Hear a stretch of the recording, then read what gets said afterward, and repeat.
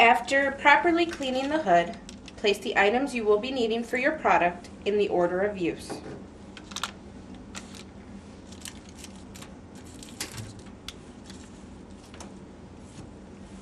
Using an alcohol swab, remove the cap from your vials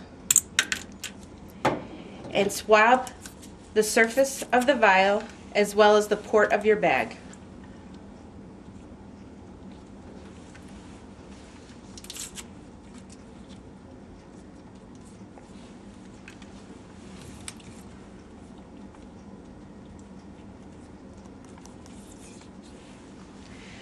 When preparing to inject from a vial to a bag, first remove the syringe from its co- protective covering.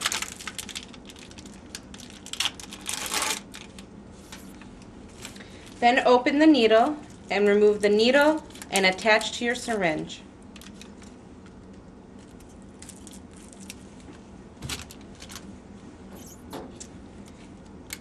In this scenario, we will be pulling back on the syringe to 2 mLs.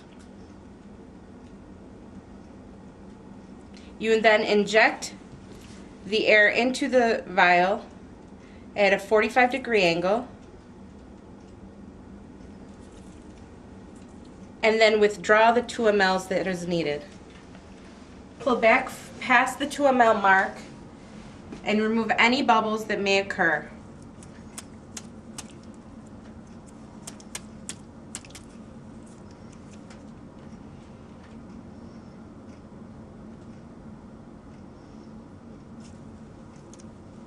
Once bubbles are removed, withdraw the needle, holding the port of the bag in your hand to stabilize it, inject into the bag.